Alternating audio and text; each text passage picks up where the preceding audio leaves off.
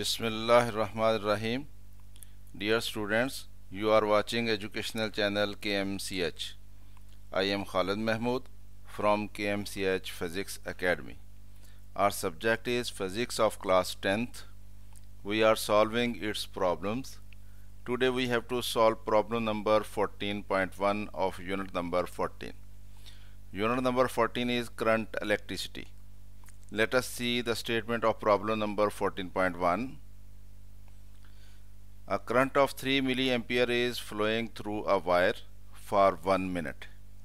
एक वायर है, उसमें से तीन मिली एम्पियर करंट गुजर रहा है और वो एक मिनट तक वो करंट वहाँ से गुजरता रहा उस वायर में से what is the charge flowing through the wire wire में से चार्ज कितना फ्लो हुआ, ये हमने मालूम करना है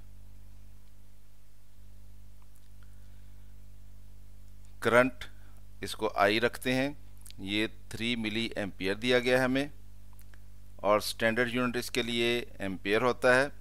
इसलिए हम मिली एम्पियर के एम्पियर बनाएँगे और मिली का मतलब टेन की पावर माइनस थ्री होता है। इसलिए three into ten power minus three ampere बन जाएँगे। टाइम इसको टी रखेंगे। ये हमें एक मिनट दिया गया है और टाइम के लिए स्टैंडर्ड यूनिट हमारे पास सेकंड होता है। इसलिए मिनट को सेकंड में कन्वर्ट करेंगे और एक मिनट में 60 सेकंड्स होते हैं, इसलिए ये टाइम 60 सेकंड बन जाएगा। चार्ज क्यों रखते हैं इसको, ये हमने मालूम करना है।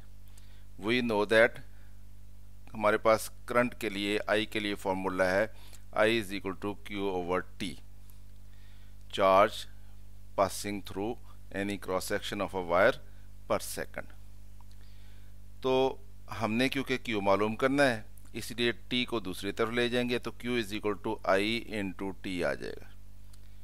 वैल्यूज़ पुट कर देते हैं putting values we get I की value three into ten power minus three ampere और टाइम की वैल्यू सिक्सटी सेकंड एम्पेयर जो है वो कोलम पर सेकंड होता है, इसलिए सेकंड सेकंड से कट जाएगा और हमारे पास कोलम यूनिट बच जाएगा।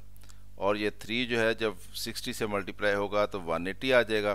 और ये मल्टीप्लाइड बाय टेन के power minus three as it is आ जाएगा। तो इस तरह से चार्ज जो है, वो 180 eighty into ten power minus three coulomb बनता है। Thus the charge flowing through wire is 180 eighty into ten power minus three coulomb तो इस तरह से हमने इस क्वेश्चन को सॉल्व कर लिया। उम्मीद है आपको समझ आई होगी।